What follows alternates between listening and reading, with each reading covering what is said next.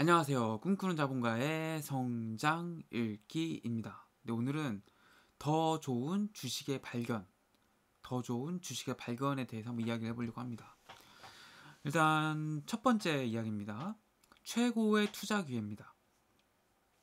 최고의 투자 기회는 과연 언제 올까요? 최고의 투자 기회는 주식시장 전체가 폭락할 때 밀려옵니다. 1997년에서 1998년에 동아시아 금융위기, 2000년에 터진 인터넷 버블, 2007년에 시작된 침체기 그런 것도 그 예인데요. 이때야말로 정말 주식을 매수할 기회가 넘쳤죠. 그렇죠? 이때는 기관들이 주식을 팔 수밖에 없습니다. 왜 그러냐면은 돈을 막 고객들이 주식이 폭락하니까 돈을 막 이제 펀드를 막 팔거든요. 그러면은 돈이 빠져나가니까 어쩔 수 없이 펀드 매니저들은 주식을 팔 수밖에 없어요. 그러니까 이제 더 가속화될 수밖에 없는 거죠, 그게. 그래서 투자 기회는 정말 주식시장 폭락할 때 온다.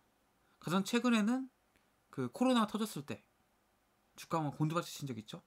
그때가 이제 최고의 기회였죠. 이런 식으로 위기가 곧 기회라는 사실을 꼭 기억하셨으면 좋겠습니다. 우리가 주식을 사야 할 시기는 주식시장이 폭락했을 때다.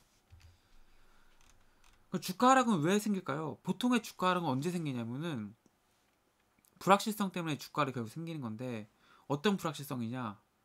뭐 그 기업이 소송을 당할 우려라든지 회계 부정을 했다거나 사기 혐의를 당했거나 뭐 신종플루와 같은 전염병, 뭐 전략 오류로 인한 경영 문제, 경영진에 대한 우려, 경영진 해임, 정부 개입 또는 규제, 고객 이탈, 기술 변화, 신용 등급 하락, 경쟁사의 발표 대응, 뭐 이런 것들 때문에 주가가 하락합니다.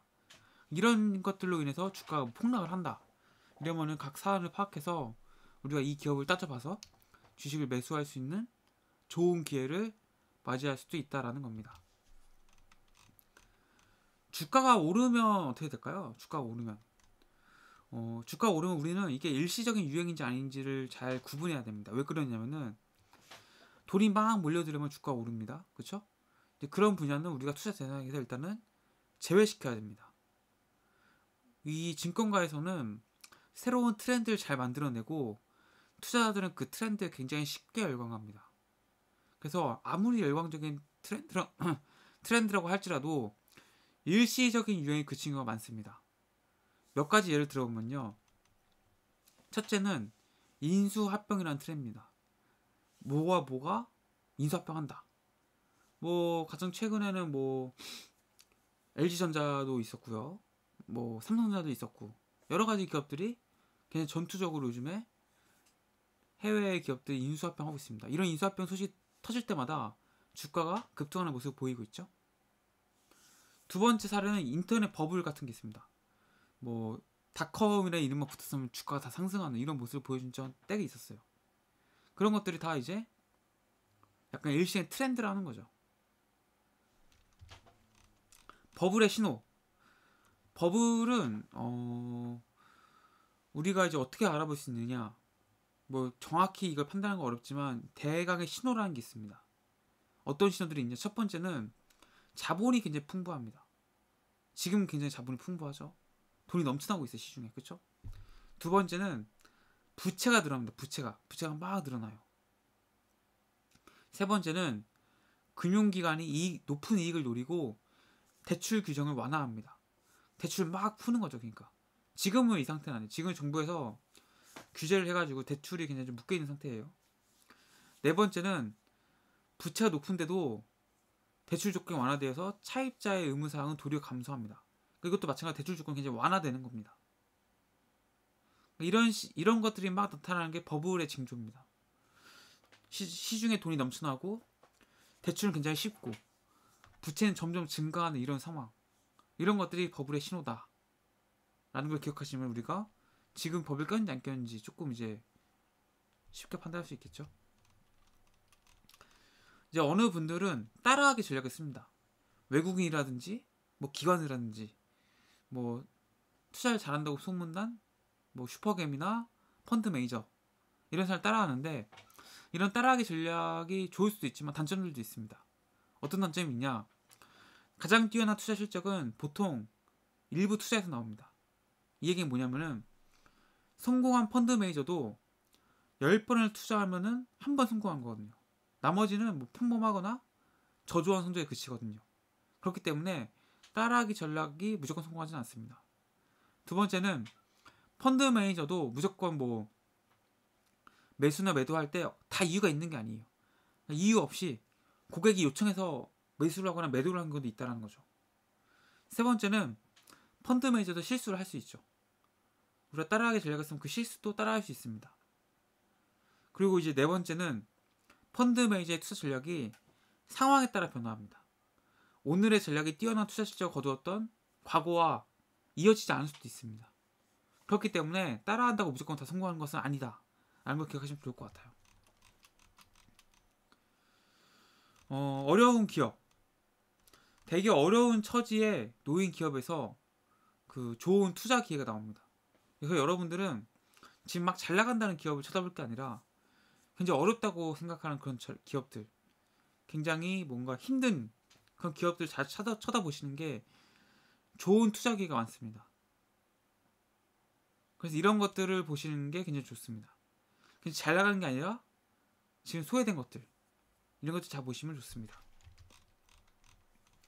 경쟁 우위에 있는 기업을 찾아야 됩니다. 우리는 경쟁 우위에 있는 기업을 찾, 찾았다면은 이게 얼마나 이제 오래 갈지 이것을 좀 우리가 고민을 해봐야 되는데 어, 두 가지를 보시면 좋습니다.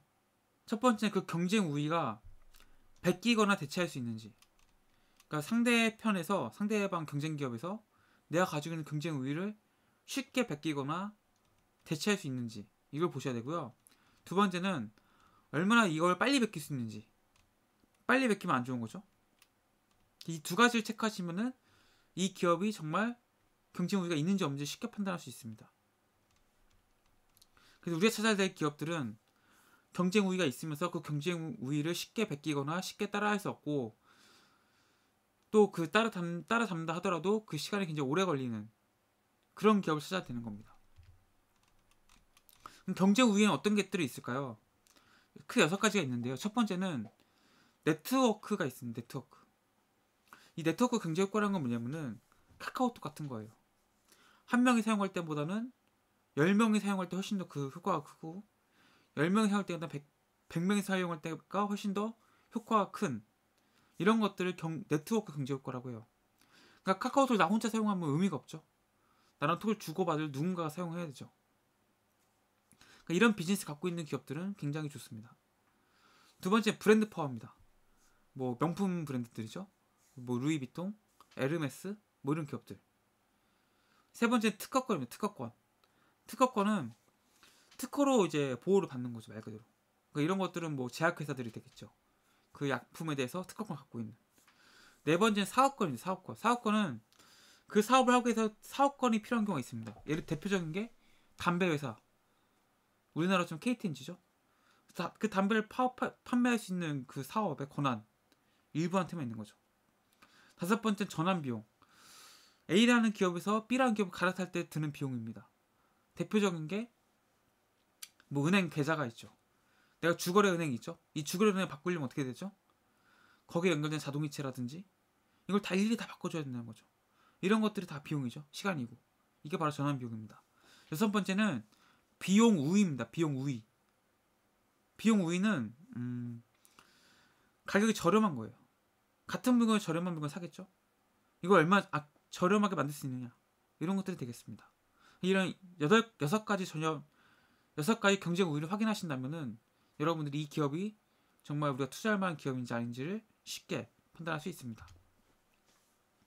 그래서 오늘은 더 좋은 주식의 발견이라는 책 가지고 리뷰를 해봤고요. 꿈꾸냐면 성장하는 경제자 자기업 성장한다는 컨셉으로 올라오고 있습니다. 이런 분 관심 있으신 분이라면 성장할 길 구독해 주시고 좋아요 눌러주시면 감사하겠습니다. 고맙습니다.